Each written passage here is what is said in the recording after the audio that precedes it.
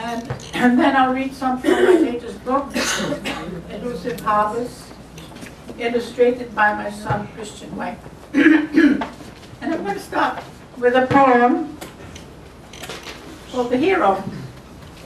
He actually happens to be here. My cousin, my Dutch cousin Carol. and when I was a little girl, this older cousin used to come, and I thought he was already a hero. So the hero for Carol. Once more I see the length of him, lean as a Giacometti, buffeted by winds, years, wars, his rash escape from home to the world in all its corners.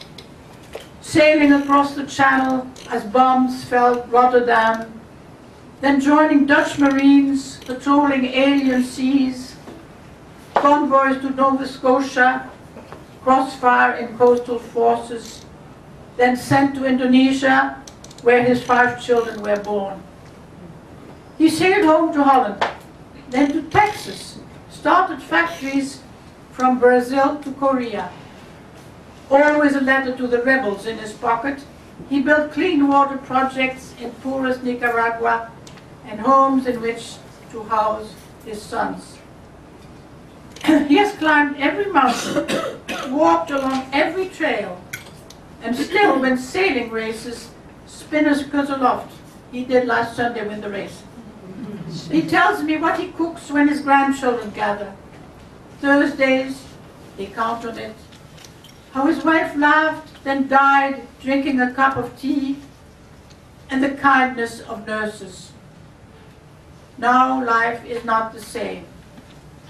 And oh, do I remember visits to grandmama, uncles drinking Médoc, paths through the dunes to the sea, on bicycles, the balance.